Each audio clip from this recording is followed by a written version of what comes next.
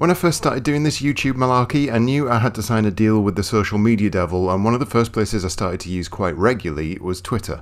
It wasn't something I'd ever used before, I didn't quite understand what was going on, and I essentially just added a load of people who were either talking about retro things, ZX Spectrum things, or anyone that declared chocolate digestives as the best biscuits in their profile. This got me off to a good base, and as the channel grew, I started to get followers that had more interesting character traits than biscuits. I started to get people who were creative, or important, or otherwise just very handsome. Two people who are very much all three of these things, and probably also declare chocolate digestives as their favourite biscuits, are Raymond Russell, developer of new Spectrum game Blocks, Block Z, Blocks, however it's pronounced. He made that, and Gaz Marshall, developer of other Spectrum game, Magenta Jim, which itself is a reference to another Twitter user called Jim Blimey who writes ZX Spectrum reviews, and he's also currently making his own Spectrum game. Honestly, Twitter is mental. How did all of these people just appear out of nowhere? Get a room, everyone. Now, I'm merging both of these games into one video because ultimately they're both pretty simple games, but they're also both new, so I don't really want to spoil anything where possible. I mean, when I say new, they've both been out for a while now, and I'm only just getting around to talking about them. But considering most of the games I'm reviewing are 30 years old, I reckon I'm pretty ahead of the curve here. Shut up. Let's start with Raymond Russell's Blocks first, and firstly, plant your ears on this lovely ditty.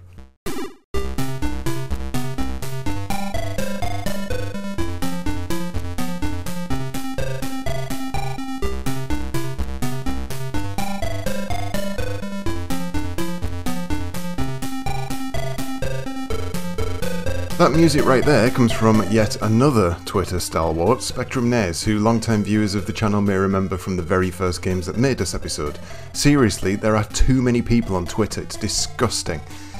That music and all the music you'll find in Blocks is composed by Mr. Spectrum Nez, or Neil as his mother calls him, and it's all really, really lovely stuff. I mean, super good, catchy, unintrusive, earwormy stuff that really suits the game down to a T. And then we come to the game we come to the game and we look at it and we say, oh, it's a block pusher. And if your first reactions there were the same as mine, then I can't blame you. Sokoban games are not something that I've ever really enjoyed, mostly because they're drab wee affairs, but also because my brain just doesn't click with them. Fear not though, Sokoban haters, while the game may look like it's going to drag you into that Japanese warehouse simulator world, this actually plays a lot faster, a lot quicker, and a lot, lot, lot less boring. Raymond has managed to snap off all the bits I don't like when it comes to games like this, namely the endless wandering and the open nature of the puzzles at play. Sokoban games tend to give you the illusion of multiple choices when in fact there's only one way to win.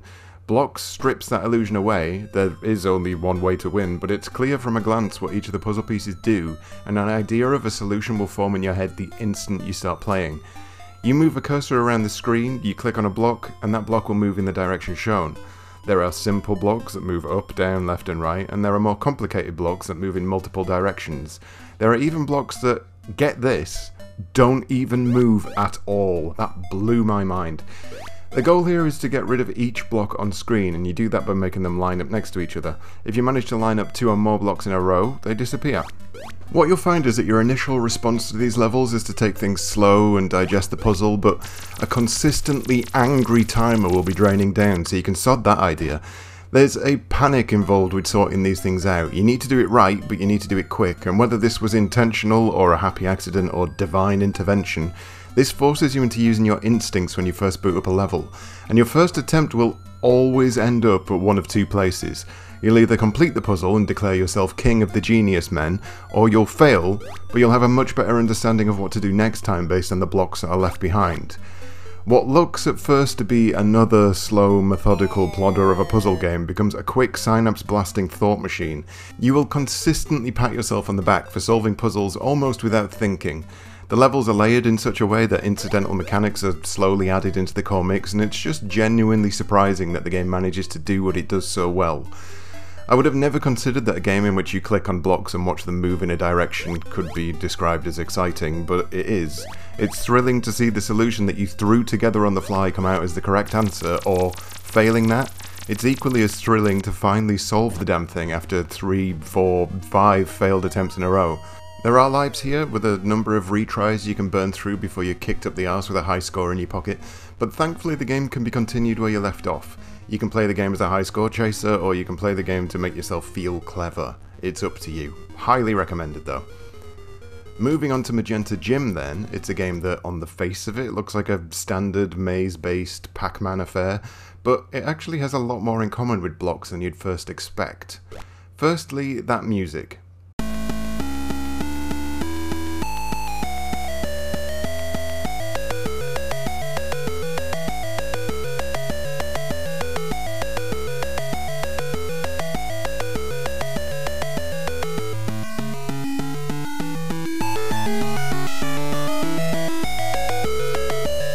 I don't know what it is about these people making new Spectrum music in the year 2020, but I am all over it. Another great tune that genuinely feels like a forgotten classic from 30 years ago. There's some talented buggers about.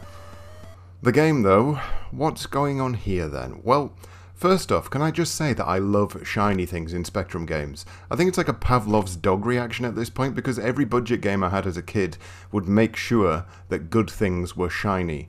As soon as the first level came into view, my instinct was to hoover up every single delicious piece of shiny I could. Which is lucky because that's what you've got to do, but oh no, there's a load of bastard UFO enemies knocking about. Now, to the untrained eye, you might be thinking that these things are all out to get you at once, but the enemies are all fixed to a specific pattern. This is less like Pac-Man in that sense, and much more methodical in its execution. It's a real-time puzzle game, effectively, and it'll take a while for that to truly sink in, because your eyes have essentially got to train themselves to see the hidden monorails that these enemies are following. At any given moment, you can be trapped in a corner that you were sure that annoying little get hadn't gone down before, but he did, because they always follow the same path, and it's up to you to work out where you can slip in and out of those paths. A game like this wouldn't work though if it wasn't for tight controls, and let me be honest here, Magenta Jim was a game I first played about a month ago now, and I didn't like it. I kept getting stuck on the corners of the maze, one pixel out, and you'll waste so much time trying to realign yourself that you'll just end up dead. When I booted the game back up this week, my feelings were very much the same. I hate this. I can't get this stupid magenta idiot to go where I want him to. Why can't it be like Pac-Man where you can hold down the direction before you get there? Where you can basically hug the corners and slide into the next direction? Oh. Oh, it is like Pac-Man. Yes, that's right. I'm an idiot.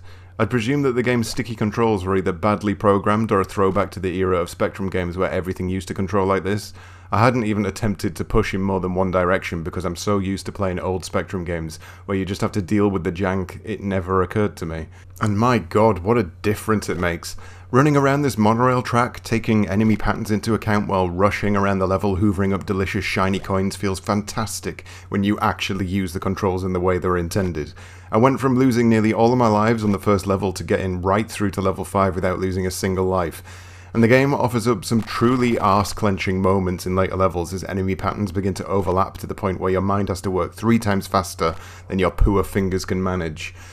It's funny how two games that have almost nothing in common with each other can offer a similar exhilaration from two very different areas of influence. Blocks makes you feel like Dr. Mensa throwing puzzles in front of your eyes and forcing you to trust an initial judgment, giving you a shot at redemption if you fail by giving you the hindsight left by the blocks that weren't removed. Magenta Jim makes you feel like you have the reactions of a cocker spaniel on coke. You get dumped into a level with multiple moving parts, and you just run with it, all the while taking in these hidden enemy paths, storing them up in the only working part of your brain while you run around hoovering things up. In both games you can complete a level completely by accident, but in both cases you'll feel like an absolute genius for doing so.